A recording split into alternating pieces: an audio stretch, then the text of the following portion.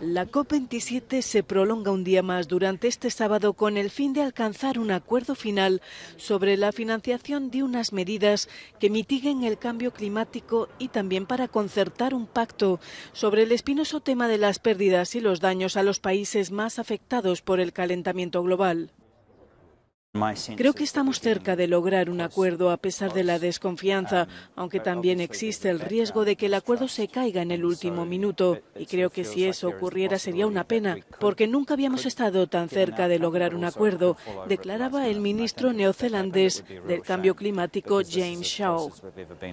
Mientras decenas de activistas reunidos en torno a la cumbre del clima piden resultados concretos de estas conversaciones de dos semanas, la Unión Europea ha anunciado que aceptaría la creación de un fondo de pérdidas y daños, a condición de que se reafirmen los objetivos de reducción de emisiones y de limitación del calentamiento global.